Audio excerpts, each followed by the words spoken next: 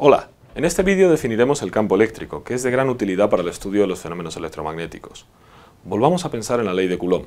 Esta vez habrá una carga Q positiva fija en el origen y una carga Q minúscula que podremos mover. Que la carga Q mayúscula sea fija significa que la fuerza que Q minúscula ejerce sobre ella no afecta a su posición. Si Q minúscula es positiva y la colocamos en el sitio que se ve en la figura de la izquierda, la carga será repelida en la dirección que indican las flechas negras. Si Q minúscula es negativa y la colocamos en el sitio que se ve en la figura de la derecha, la carga será traída hacia el origen como indican las flechas negras ahí. Las líneas azules que aparecen en distintas direcciones indican el sentido que tendría la fuerza repulsiva que generaría Q mayúscula sobre una carga positiva que se colocase en esos puntos.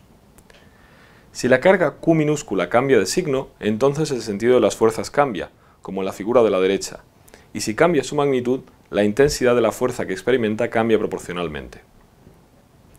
Esta vez la ley de Coulomb la escribiremos en forma vectorial. f sub e aparece en negrita, porque es un vector. Si escribimos a mano pondremos una flecha encima.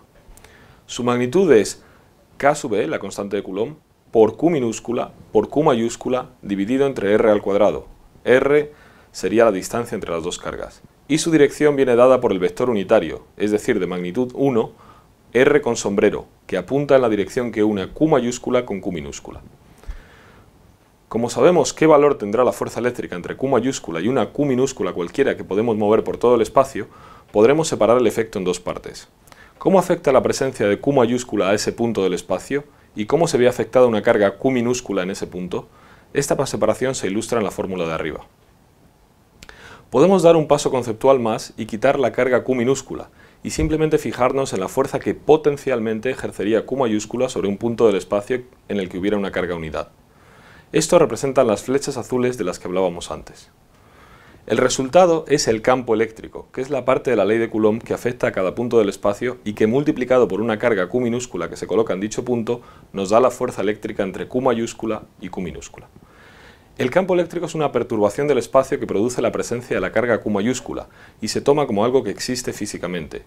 Su valor queda dado según la fórmula que aparece abajo. Como decíamos antes, en relación con las fuerzas eléctricas, los campos eléctricos cumplen un principio de superposición. Si en vez de una sola carga Q mayúscula hay dos cargas Q mayúscula sub 1 en el punto R1 y Q mayúscula sub 2 en el punto R2, el campo total será la suma de los campos que generan cada una de ellas. En este ejemplo, Q sub 1 es positiva y por tanto genera un campo positivo que vemos aquí, mientras que Q sub 2 es negativa y el campo es negativo como vemos aquí debajo. Cada campo decrece de forma inversamente proporcional al cuadrado de la distancia con respecto al punto en el que se encuentra su carga. Las líneas azules representan la intensidad del campo en una dirección del espacio dada. La suma de los dos campos se ilustra a la derecha del símbolo de igual y su valor se da abajo, donde el primer término es el campo creado por Q sub 1 y el segundo el campo creado por Q sub 2.